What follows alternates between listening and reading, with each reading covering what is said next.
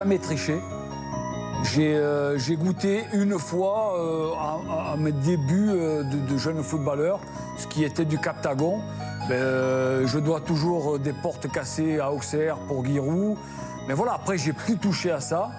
Et pour moi, il n'y a rien de plus beau que de, de pouvoir s'exprimer sur un terrain et rendre ce que le football m'a donné. Et Pascal, vous venez de nous dire, vous avez pris du Captagon, c'est une Ouais. substance dopante, ça. C'était un truc- Oui, oui, mais à l'époque, tu, tu- tu es jeune, tu es con, tu n'as qu'une envie, c'est te défoncer pour tes couleurs.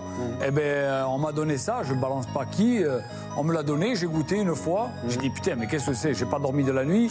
J'ai fait que, j'ai fait que envoyer la sauce et tout, mais bon. Mais, mais derrière, je l'ai goûté une autre fois, j'ai dit, mais c'est pas possible. J'étais assis sur la transversale, Oh, j'ai pris un rouge à 60 mètres du but.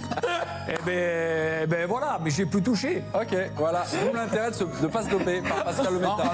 Ça, c'est de la pédagogie dans les C'est sûr. T'es tombé que- dedans quand t'étais petit, si vous voulez que les couilles vous tombent, ne vous dopez plus. hein.